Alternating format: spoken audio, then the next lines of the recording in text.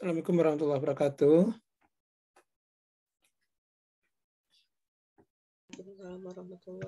Waalaikumsalam warahmatullahi wabarakatuh. Ya. Baiklah saudara sekalian, karena uh, merupakan kuliah kita pertama di hari ini ya, kita selalu perbarui rasa syukur kita kepada Allah Subhanahu wa taala. Mudah-mudahan selalu diberikan kekuatan, kesehatan dalam menjalani kehidupan dunia menuju kehidupan akhirat yang kekal abadi ya. Salam dan salam kepada junjungan kita Nabi besar Muhammad SAW. Allahumma salli ala Muhammad wa ala Muhammad. Bila saudara semuanya, yang hadir baru 48 orang nih, dari 70 lebih ya.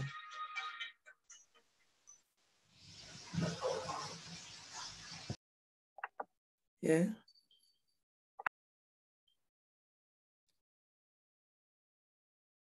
Seharusnya kan jam 8 itu masuk langsung itu.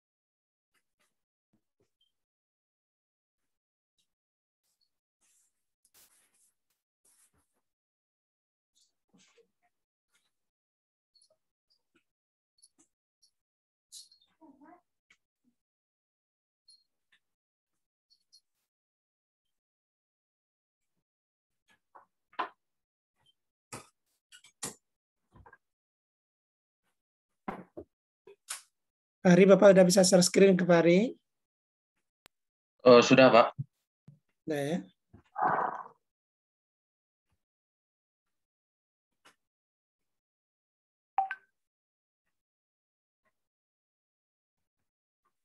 Uh, sambung kita akan kemarin sedikit dulu ya.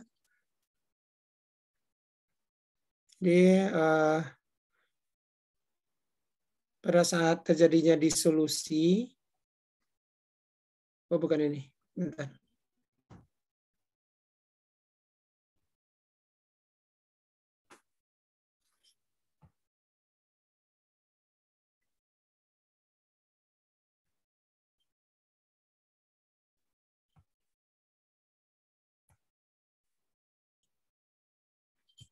Ya, kita akan bicara tentang disolusi terakhir kemarin ya.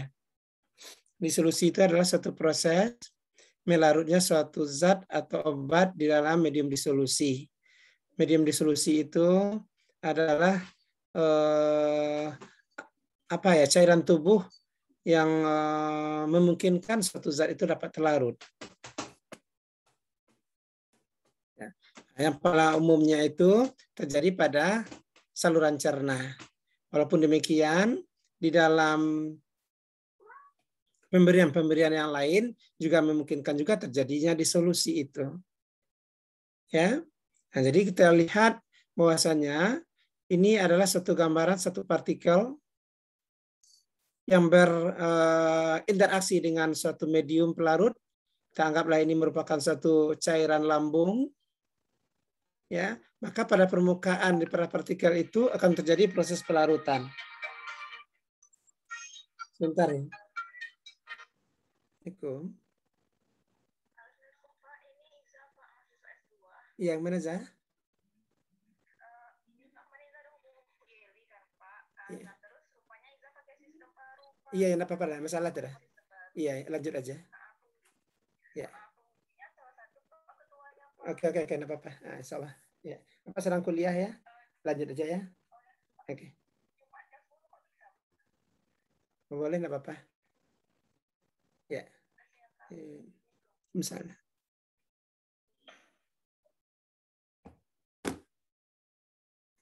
Jadi pada proses disolusi itu adalah proses melarutnya. Karena pada permukaan ini berinteraksi dengan pelarut, maka akan terjadilah pelarutan. Dan ini merupakan suatu kelarutan yang sebenarnya daripada satu zat. Ya, sehingga kita sebut dengan CS. CS itu adalah konsentrasi obat yang terlarut pada lapisan stagnan. Berarti ini adalah kelarutan obat yang sebenarnya. Sementara di sini adalah kelarutan obat pada bulk solvent. Berarti pada cairan yang yang uh, uh, di luar ya lapisan saknannya. Nah, kita mengharapkan dari disolusi itu ya C-nya ini adalah sangat kecil. Ya sangat kecil dibandingkan dengan CS. Seolah-olah nanti di dalam cairan lambung, cairan uh, saluran cerna itu C-nya dapat diabaikan. Sewaktu C ini dapat diabaikan, ini yang kita sebut dengan kondisi hilang atau sync condition. Ya, synchronization. Jadi rumusnya nanti akan bisa berubah menjadi DC per DT sama dengan DAK per H kali dengan CS saja. Ya, kondisi itu harus diciptakan ya di dalam uh, pengujian disolusi secara in vitro. Nih, ini sudah kita sampaikan kemarin ya. Maksudnya banyak faktor yang akan mempengaruhi disolusi. Pada umumnya dapat kita bagi tiga saja faktor-faktor yang terkait dengan sifat-sifat fisikokimia obat. Ya, luas permukaan nih. Luas permukaan ini korelasinya dengan ukuran partikel. Kalau ukuran partikel kecil, maka luas permukaannya akan menjadi besar ya, jadi besar. Ya, bagaimana cara melakukan pengukuran ukuran uh, luas permukaan partikel ini? Bagaimana caranya? Ini informasi fisika sudah dapat tuh. Mana caranya?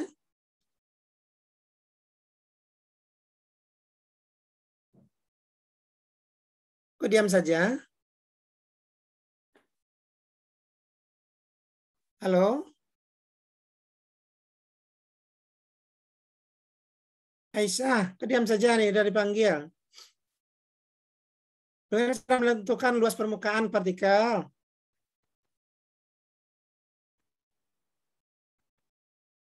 Aisyah dengar? Ya, Pak. Ya, dari tadi Bapak panggil. Maaf, Pak. Sinyal di sini agak kurang stabil, Pak. Nah, ini nampak enggak ini? Nampak, Pak. Poinnya nampak? Nampak, Pak. Nah, bagaimana cara melakukan pengukuran uh, luas permukaan?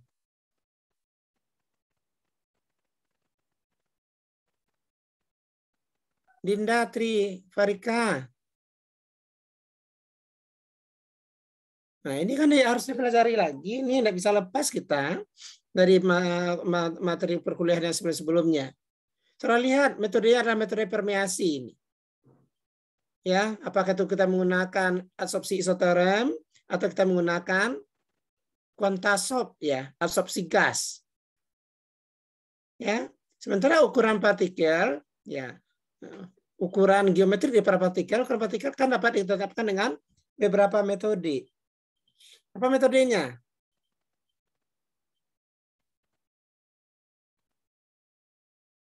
Aduh, udah belajar lagi, lupa lupa baru uh, farmasi fisika semester kemarin baru ya. Semester tiga ya, farmasi fisikanya. Mikromerit. Apa? Mikromeritik, Pak. Mikromeritik itu ilmunya. Mikromeritik itu adalah ilmu yang mempelajari tentang ukuran partikel dan teknologi partikel kalau mikromeritik. Sedangkan ukuran geometri partikel itu metodenya kan ada empat ya. Apakah itu kita menggunakan metode mikroskop, okulo okulo eh, mikroskop, mik, mikroskop yang dilengkapi dengan okulo mikrometer. Maka kita menggunakan metode sieving, metode pengendapan, metode volume partikel dengan menggunakan alat counter counter. Kalau sekarang alat yang yang lebih canggih untuk menentukan ukuran partikel itu adalah PSA particle size analyzer. Ya, di labor kita ini sudah ada nih PSA-nya. Sampai pada 30 nanometer sudah dapat ditetapkan. Ya, nah, nanti ada lagi kelarutan, tetapan ionisasi, ya, tetapan distribusi, dan lain sebagainya. Faktor formulasi akan berpengaruh terhadap disolusi ya. Di antaranya ini eksipien yang pernah kita sampaikan pada awal perkuliahan Bahasanya eksipien, jenisnya, jumlahnya, ini akan berpengaruh di dalam menghasilkan satu sediaan. Oleh sebab itu, orang akan bisa berlomba-lomba mencari eksipien yang cocok ya untuk satu formulasi zat-zat tertentu. Itu pertimbangannya mungkin banyak ya, bukan hanya eh, apanya saja ya, tapi pertimbangan-pertimbangan lain ada ya, pertimbangan harga dan sebagainya. Termasuk ya faktor berikutnya adalah faktor lingkungan, pengadukan, ya. Karena di dalam disolusi itu kan pengadukannya menggunakan metode pedal dan metode basket. Ada yang pengadukan itu 50 RPM dan 100 RPM. Itu akan berpengaruh. Ya, kenapa 50 RPM, kenapa 100 RPM? Nah, itu yang kita sebut dengan sync condition itu. Kondisi hilang. Waktu disolusi kemarin sudah saya sampaikan ya, maksudnya ada disolusi intrinsik, masih ingat ya? Serina?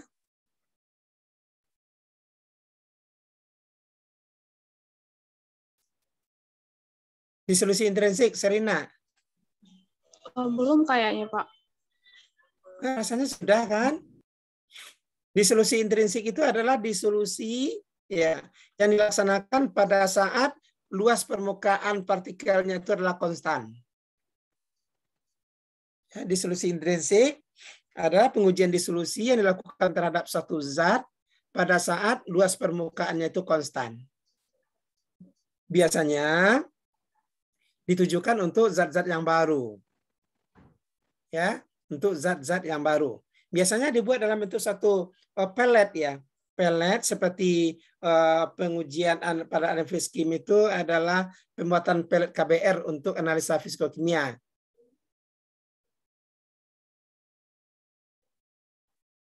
Ya, nah, nanti ada suatu disk yang terbenam pada lapisan pada bagian bawah daripada alat disolusi. Dengan sistem pengadukan akan terdisolusilah uh, zat yang sudah kita buatkan dalam bentuk pelet tadi pada ukuran luas permukaan yang sama. Ya, itu yang kita sebut dengan disolusi intrinsik. Ya. Jadi pengadukan akan berpengaruh, kemudian pH berpengaruh, ya karena bagaimanapun juga kita harus ciptakan kondisi in vitro itu mendekati kepada kondisi in vivo. Walaupun demikian di luar itu juga akan ada ya. Karena di resolusi obat itu juga ada yang menggunakan hanya aquades saja. Dan secara fisiologis kan tidak mungkin kan aquades saja di dalam saluran cerna kita. Kemudian viskositas akan juga berpengaruh Artinya kalau banyak kita menggunakan polimer pada bahan tambahan, ini yang kita sebut dengan excipient, maka viskositas akan bertambah. Viskositas yang bertambah ini akan berpengaruh terhadap lapisan difusi.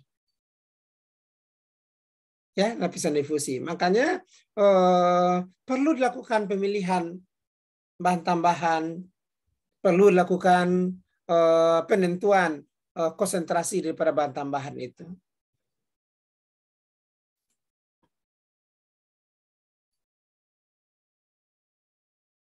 Ya.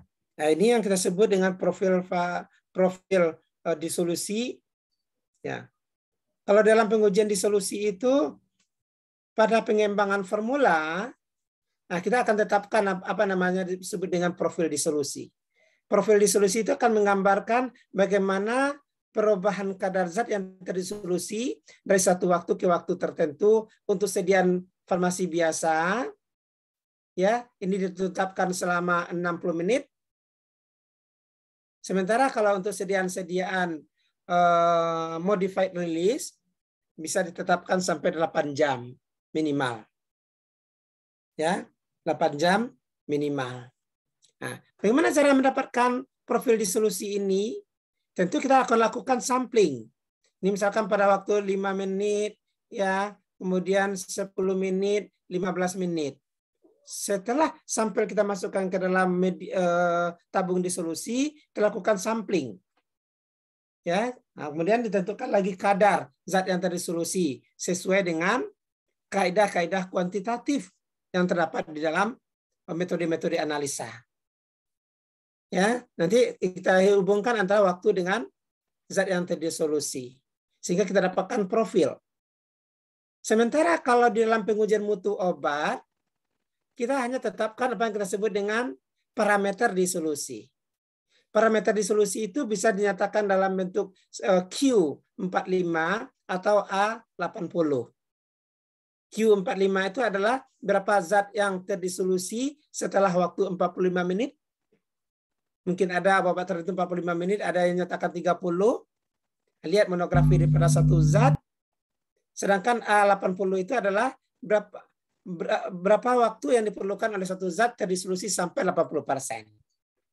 Tolong saudara lihat dalam monografi uh, daripada satu uh, apa ya zat-zat uh, apa sedian-sedian jadi. Nah, dari profil disolusi ini kita akan olah menjadi kinetika disolusi.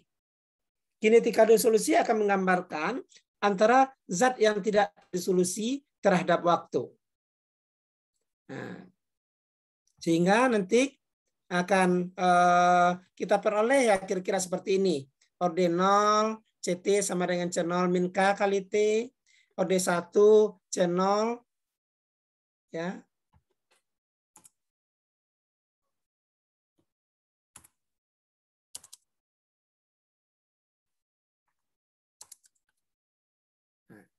kira-kira persamaannya. Dan nanti eh, ini kan yang saya suruh kemarin ya. Kinetika Higuchi, Cosmer Pepas, Langan Bocor, dan dan dan. Saya tinggal uh, untuk beberapa menit ya. Uh, sebentar, saya ada perlu sebentar.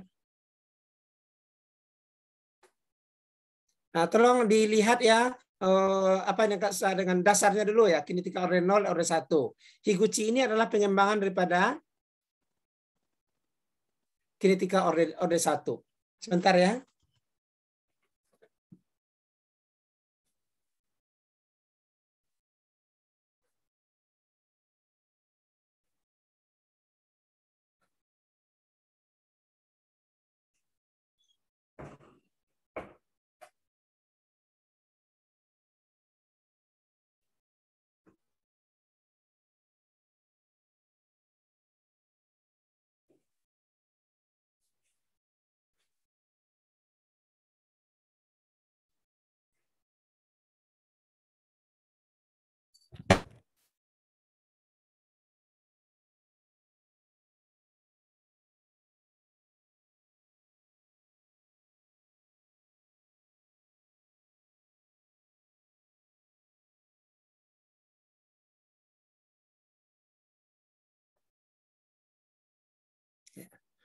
Kinetika orde 0 secara matematik CT sama dengan C0 min K kali dengan T. Apa artinya di sana kinetika orde 0?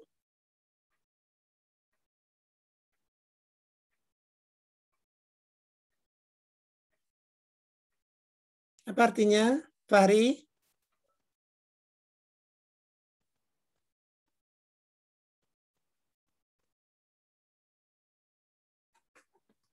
Artinya Fahri?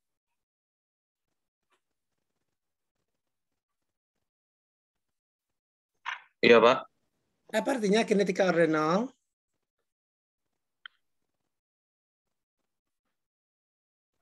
Kok lupa ya? Oh.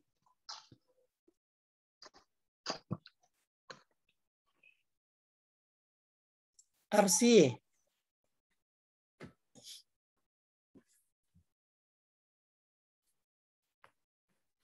Iya, Pak. Apa itu kinetika ordinal? Uh, pelepasan obat yang mengikuti kinetika ordinal terjadi melalui mekanisme erosi, Pak.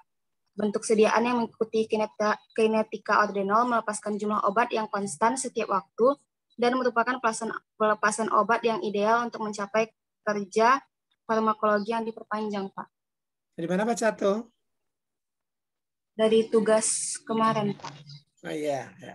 Jadi kinetika ordinal itu adalah satu model kinetika di mana laju laju oh, disolusi obat itu tidak dipengaruhi oleh konsentrasi daripada zat yang terdisolusi. Ya, dia akan konstan dari awal sampai akhir lajunya adalah tetap. Maka jumlah zat yang ter tidak terdisolusi terhadap uh, waktu itu dia akan konstan. Jadi kalau kita buatkan garisnya nanti ya garisnya adalah seperti ini, lurus saja nanti. Ya. Nah, kalau kinetika order satu ada satu model kinetika laju rea, laju disolusi itu dipengaruhi oleh konsentrasi reaktan. Ya, laju disolusi dipengaruhi oleh konsentrasi daripada reaktan. Karena model kinetikanya itu adalah model kinetika eksponensial. Ini kan persamaan eksponensial nih. C0 sama dengan CT eksponensial min K kali dengan T. Dia akan berbentuk garis lurus apabila dia dibentuk dibuat dalam bentuk logaritma. Log C0 sama dengan eh terbalik nih. Ini CT seharusnya nih, maaf. Ini CT CT sama dengan C0. Ya C0 eksponensial min kali kali dengan T. Kalau ada bentuk garis lurusnya gimana nih? Log CT sama dengan log C0 0 dikurang K kali T dibagi dengan 2,3.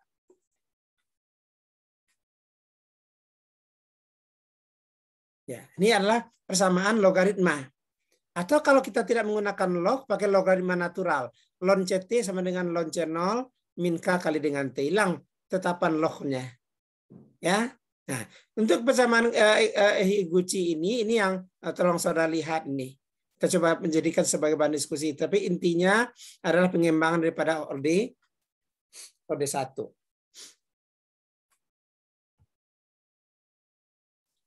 Ini sudah kita sampaikan.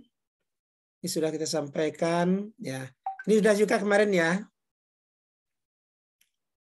Pertimbangan utama itu adalah masalah keamanan dan efikasi. Uh, ini uh, dilihat bahwasanya menukul zat itu akan sangat mempengaruhi laju disolusi. Kita lihat pada senyawa uh, apa ya eritromisin ya bentuk anhidratnya dengan monohidrat akan berbeda dengan dihidrat ya pemilihan bahan baku itu sangat menentukan. Ini sudah juga. Nah, ini medium uh, saluran cerna kita. Secara anatomi di rongga mulut ini sudah terjadi proses absorpsi. Kenapa? Ada aliran darah yang berada di rongga mulut ini. Sehingga ada sedian-sedian yang kita sebut dengan sedian bukal dan sublingual. Di mana terjadinya disolusi dan absorpsi di rongga mulut di apa tenggorokan itu tidak akan terjadi disolusi. Kenapa? Transit time-nya itulah rendah, cepat. Sementara pada eh, lambung, karena ini sudah ada cairan cairan biologis yang jumlahnya juga cukup untuk eh, memediasi proses pelarutan, di sini bisa terjadi disolusi. Ya, Waktu transit obat juga berbeda antara segmen ini, segmen ini, dan juga dengan usus. Usus halus. Maksudnya usus halus. Berbeda konstituen internalnya, berbeda volumenya, berbeda secara anatomisnya. Ya, termasuk pH-nya juga berbeda. Nah, ini pengaruh dari apa ini? Chloramphenicol pamita suspensi. Ah, bentuk-bentuk uh, polimorfisa nih, untuk polimorfisa.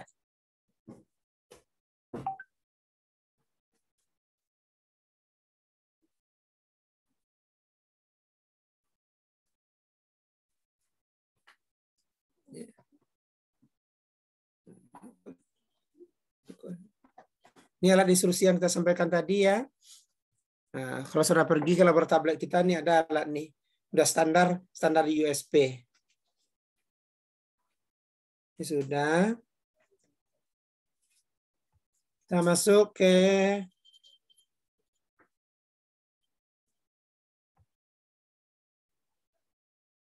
faktor fisiologis yang berpengaruh terhadap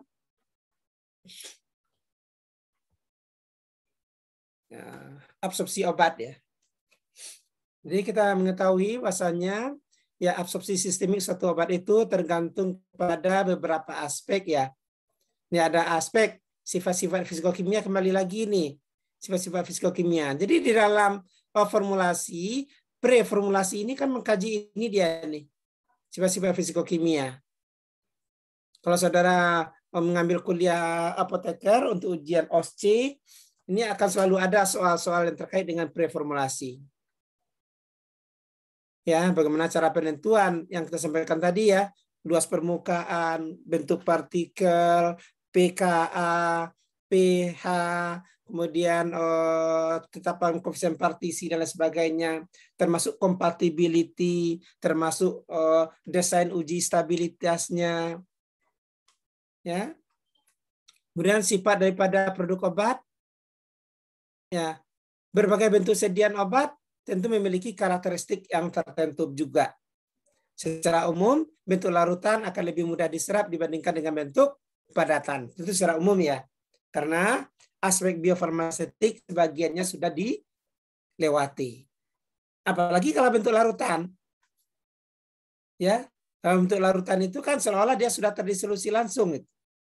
Tergantung lagi kepada sifat daripada zat itu. Bagaimana perbandingan pH dengan pKa-nya. Ya. Kemudian ya, fungsi anatomi dan fisiologis di tempat absorpsi obat. Semuanya ini adalah suatu faktor-faktor yang sangat penting di dalam merancang suatu sediaan obat. Jadi sifat fisikokimianya, sifat daripada produk obatnya, termasuk anatomi fisiologis di tempat absorpsi. Ini sudah eh, sifat-sifat daripada membran sel ya, untuk absorpsi sistemik maka satu obat itu harus dapat terserap ya mengalami absorpsi melalui satu atau beberapa lapisan sel untuk dapat dia uh, menuju saluran sirkulasi sistemik ya jadi uh, perpindahan daripada satu kompartemen menuju kompartemen lain luar dalam harus melalui satu membran sel membran sel itu terdiri pada satu atau lebih lapisan sel. Ya, jadi kulit kita ini walaupun namanya kulit, ketebalan kulit ini berbeda-beda. Satu tubuh saja ketebalan kulit kita berbeda-beda. Apalagi kalau sekiranya antar individu. Ya. Untuk absorpsi ke dalam sel itu maka obat itu harus dapat melewati membran sel. Proses proses pemindahan obat itu melalui mekanisme membran yang bersifat semi permeabel. Artinya apa? Tidak semua molekul obat itu akan dapat dilewatkan, hanya molekul-molekul tertentu saja yang dilewatkan. Apalagi kalau yang umumnya itu adalah mekanisme difusi. Kalau mekanisme difusi adalah suatu mekanisme perpindahan obat melalui gradien konsentrasi. Obat akan berpindah dari konsentrasi tinggi menuju konsentrasi yang rendah akibat adanya gradien konsentrasi tersebut. Ini potongan uh, melintang daripada uh, kulit ya. Kulit yang ini yang kita sebut dengan teori lipid bilayer, dua lapisan lemak. Ya, di dalamnya itu juga ada suatu pori-pori atau adanya suatu uh, molekul-molekul yang ter, ter disinter eh, ter uh, dispersi ya pada molekul-molekul yang uh, kaya dengan permukaan uh, berlemak itu. Jadi uh, untuk perpindahan transmembran komposisi dan struktur di sel itu uh, mempengaruhi ketebalannya lebih kurang 70 sampai 100 Armstrong komposisinya membran sel itu daripada fosfolipid dengan adanya karbohidrat yang terinterdispersi dan juga ada kelompok-kelompok protein integral dari lapisan uh, bilayer tersebut. Bilayer itu bagian dalam nonpolar, bagian luar juga nonpolar. Ada beberapa teori yang dipergunakan. Yang pertama kita sebut dengan teori lipid bilayer atau teori membran unit yang dikemukakan oleh Dawson dan Daniel pada tahun 1952. Jadi arti baru ya, 70 tahunan. Ya. Membran sel itu terdiri pada dua lapisan. Uh, menginput uh, tugas nanti pada minggu besok aja ya. Tugas satu duanya itu diinput sekaligus saja. Jadi supaya tidak banyak file kali yang kita download. Tapi kerjakan terus pada uh, sesi setengah jam terakhir. Ada lagi teori mozaik yang dikemukakan oleh Singer dan Nicholson yang menerangkan ya proses transseluler daripada satu molekul molekul polar. Umumnya berlangsung secara difusi pasif. Ya, jadi prosesnya itu adalah satu proses proses difusi yang berlangsung secara spontan dari katakanlah eh, daerah yang konsentrasi tinggi menuju konsentrasi yang rendah. Jadi kalau kita lihat di dalam uh, hukum difusi Fick ya, ini adalah dasar untuk sama hal juga dengan disolusi. Kalau disolusi kan DC per DT, kalau di sini ada DQ per DT, dia akan sama, hanya juga sama. CGI pengganti CS. CP adalah cebul. Yang mirip ya. Hukum difusi itu dengan hukum Noyes dan Wisney. Tetapi di dalam apakannya, D ini adalah kosen difusi, ya, yang A ini adalah luas permukaan membran. Kalau pada disolusi, A ini adalah luas permukaan partikel. Ya, luas permukaan partikel. Mana yang luas? permukaan lambung dibandingkan dengan khusus halus?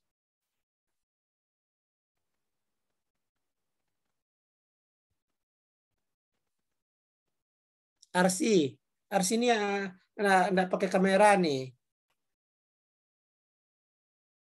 Arsi, mana yang luas? Permukaan lambung dibandingkan dengan permukaan usus?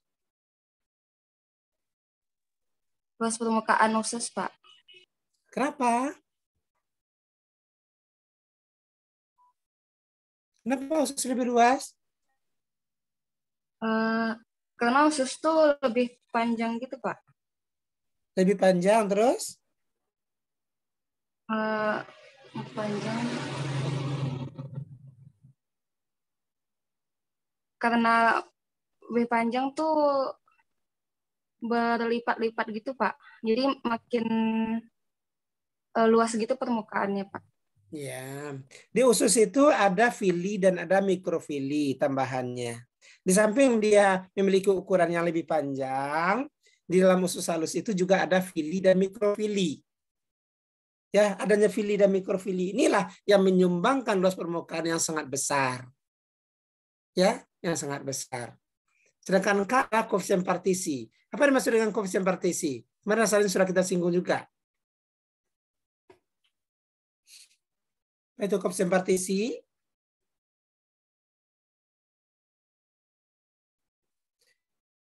Tugas presentasi minggu kelima uh, tentang aspek biofarmasetik daripada sediaan padat. Ya. Kemudian aspek biofarmasetik daripada sediaan cair. Jadi artinya kita awasi dulu mutu daripada sediaan, kemudian kita lakukan uji uji sampai kepada uji BABE ya.